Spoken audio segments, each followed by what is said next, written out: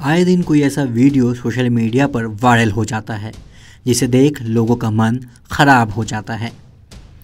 पिछले दिनों मोमोज के आटे को पैरों से गूंथने का वीडियो वायरल हुआ था तो अब महाराष्ट्र के डोंबिवली का वीडियो सोशल मीडिया पर तेज़ी से वायरल हो रहा है।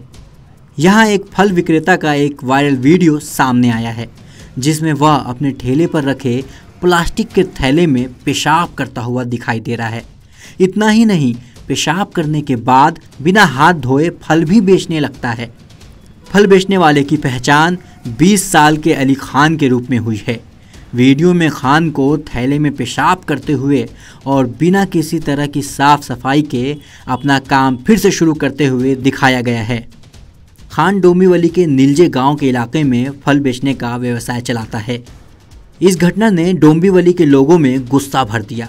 वीडियो सामने आने के कुछ ही देर बाद स्थानीय लोग खान के फलों के ठेले पर इकट्ठा हो गए, जहाँ उन्होंने उसके सामान को नष्ट कर दिया और गुस्से में उसके साथ मारपीट भी की। जैसे ही यह खबर फैली, पुलिस ने खान को गिरफ़्तार कर लिया और घटना की जाँच शुरू कर दी है।